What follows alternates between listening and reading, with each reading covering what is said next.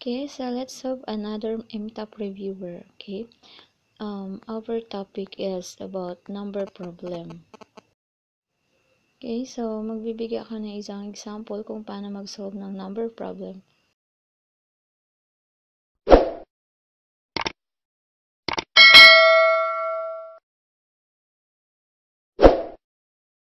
Okay, ito yung isang sample problem.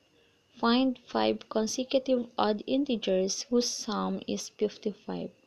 Pag sinabi natin consecutive, magkakasunod or magkakasunod-sunod. So, when we say odd integers, ito yung mga numbers na 1, 3, 5, 7, 9, 11, 13, and so on. So, yun yung mga example ng odd integers. So, ang tinatanong dito is, hahanapin natin kung ano yung 5 consecutive odd integers na pag pinag-add mo, the answer is 55. Okay, so ito yung solution. Let x be the first odd integers. Um, be the second integer is x plus 2. Bakit siya x plus 2? So, let's say, for example, yung x is 1. Pag nag-add ka ng 2, 1 plus 2 is 3. So, yun susunod na um, odd integers. Okay, para sa third odd integers is x plus 4. Bakit x plus 4? Um, if x is 1, pag nag-add ka ng 4, the answer is 5. So, mayroon na tayong 1, 3, 5.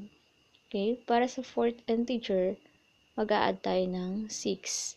Because if x is 1, 1 plus 6, the answer is 7. So, 1, 3, 5, 7. Okay, para sa fifth odd integers, pang lima, okay, mag-a-add tayo ng 8. Bakit 8?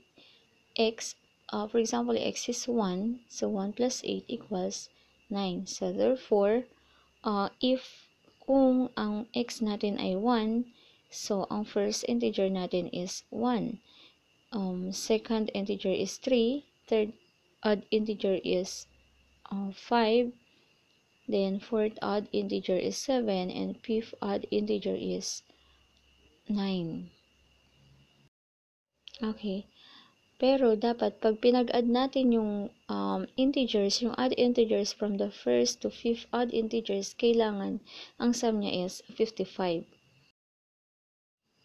Okay, so ang gagawin natin, pagsasama-samahin natin yung mga um, expression ng first integers to fifth integers.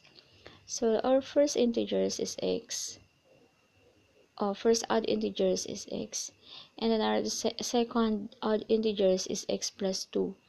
And third odd integers is x plus 4. And fourth odd integers is x plus 6.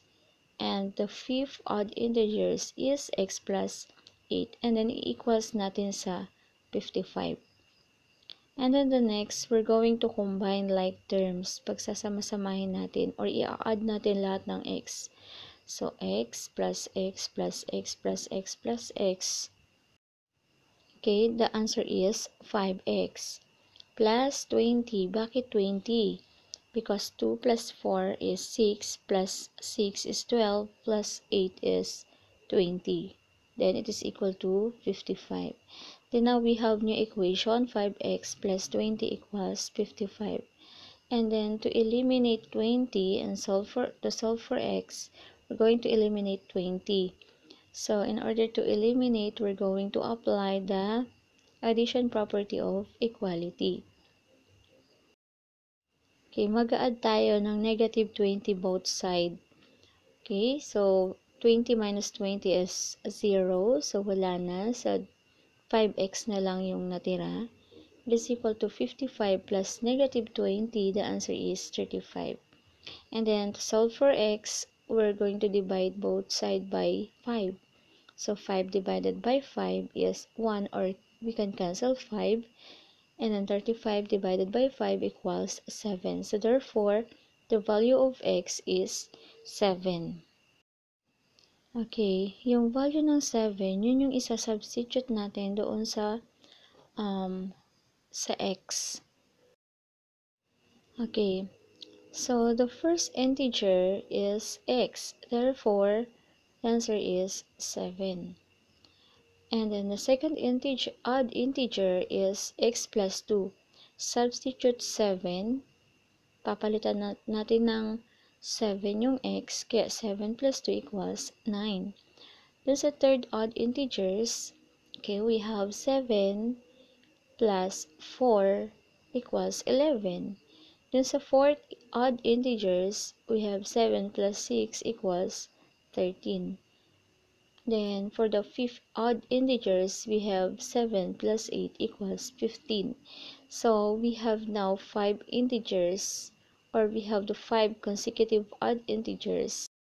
7, 9, 11, 13, and 15. So, we can check that the answers are correct if we observe that the sum of these integers is 55 as required by the, by the problem. So, 7 plus 9 plus 11 plus 13 plus 15 equals 55.